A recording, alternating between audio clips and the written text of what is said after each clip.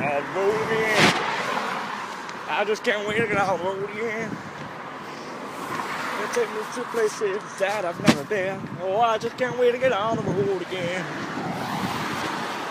Sorry about um, yesterday's vlog being really short. I didn't, I didn't do a lot, so I don't know. If this was really short, I'll do something at the end. But I'm quite a busy day today. I'm off to band rehearsals now, which takes up to about half one. Half 3 I've got a bit. Well, that's not too bad because I'm not in matches. So I'm leaving at half one because then I'm meeting up with my dad. So yeah, meeting up with my dad later and then go to some banking. Probably gonna read a large chunk of 1984. It's got really early. But I didn't do a lot, so it wasn't feel like okay. Hey guys, Chloe and Peter being gross. I'm not gonna tell you how, because let's be fair, I want to keep this PG, but they're being gross, like really. Ugh. Ugh. Say hi, Chloe. Say hi, Pete. Feck it. Language! Is- I said feck.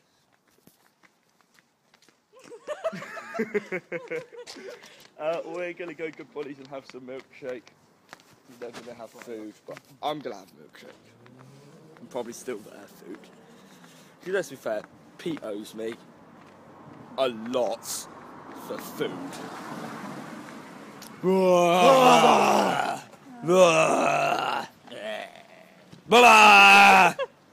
Uh, help me.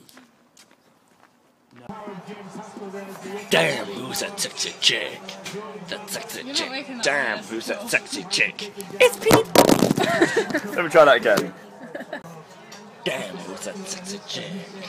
That sexy chick. Damn, who's that sexy chick? It's Peter Beasley. So we are in Les Good Booties, otherwise known as Good Bodies. Um, waiting for the food. You done? Um, I've ordered a fryer and our milkshakes are just coming just over there, which you can't see. So. Say hello to my not so little friend. Chloe. so I've drunk about a quarter of it. Watch, watch, watch, watch.